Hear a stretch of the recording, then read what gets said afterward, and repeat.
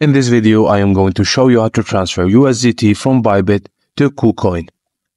Transferring USDT from Bybit, Bybit to KuCoin is not a complicated process.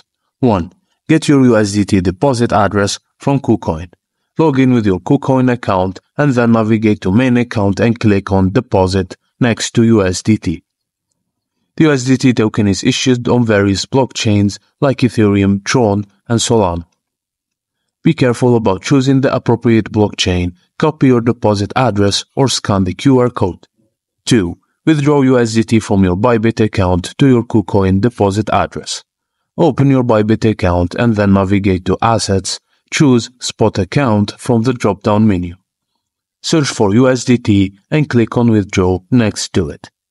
Select the proper blockchain, TRC20 on the landing page and add the copied address from KuCoin as your wallet.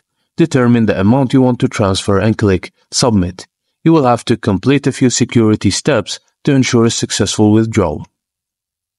The deposit will be available on your KuCoin main account. It will take a few minutes for the transaction to be confirmed. You can check the transaction block explorer to see the status of your transaction on the Tron blockchain.